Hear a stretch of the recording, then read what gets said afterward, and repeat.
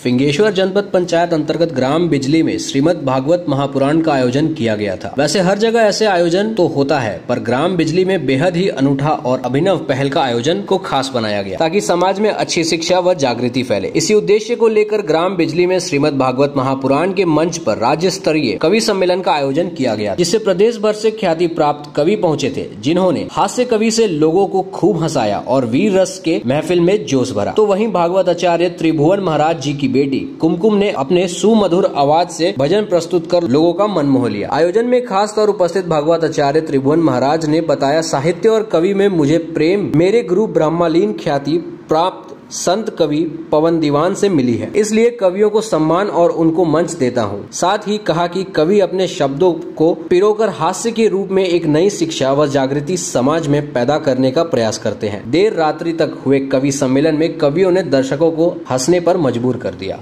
अगर हमारे भारत देश में रामायण नहीं होते, भागवत नहीं होते, कुरान नहीं होते, बाइबिल नहीं होते तो ये संस्कार जो हमको मिला है घरों में कैसा व्यवहार करना चाहिए, ये हमने वेद पुराणों से, कुरानों से, बाइबिल से सीखने को मिला है।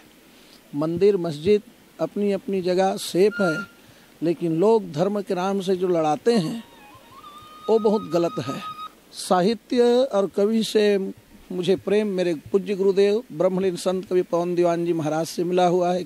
और मैं जीवन भर अपनी भगवत कथा में कवियों को लेकर चलूँगा और कवि अपने शब्दों को पिरो करके लोगों के बीच हंसाते हैं, गुदगुदाते हैं, इससे बहुत बड़ा लाभ मिलता है। से जहाँ भी इनका भागवत कार्यक्रम होता है तो चूँकि पवन दीवान जी के परम शिष्य थे ये, और इनको साहित्य से रुचि भी है, और हर मंचों पे ऐसे छत्तीसगढ़ के ख्याति नाम कवियों को बुला करके एक भागवत मंच में कवि सम्मेलन का आयोजन करते हैं, जहाँ अध्यात्म से उनको जीने की कला सिखाते हैं वहीं कविगण जो हैं वर्तमान परिवेश को देख करके हास्य के रूप में एक नई शिक्षा समाज में जागृति पैदा करने का प्रयास करते हैं। जितने हम लोग जाति के रहते हैं सब प्रेम से रहते हैं। जैसे मैं मैं भागवत करवा रहा हूँ तो ये मेरा खुद का नहीं।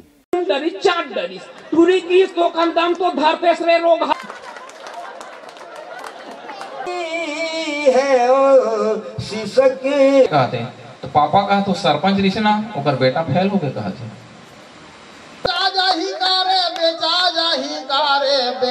की इज़्ज़त खाक में नहीं कब हो ही मोर आँसू की माला पे सिमरू में पीकाना शब्द बोलना चाहते हैं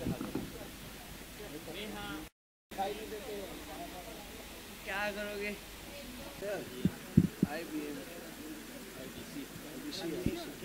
है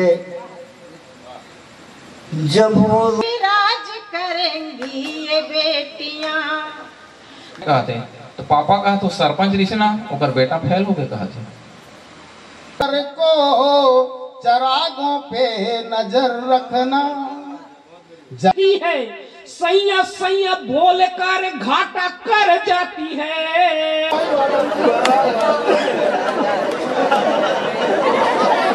ओखरे से बेचा जाही कारे बेचा जाही का कुंदरू करे For more news updates, do subscribe, like, share, and comment. Clipper 28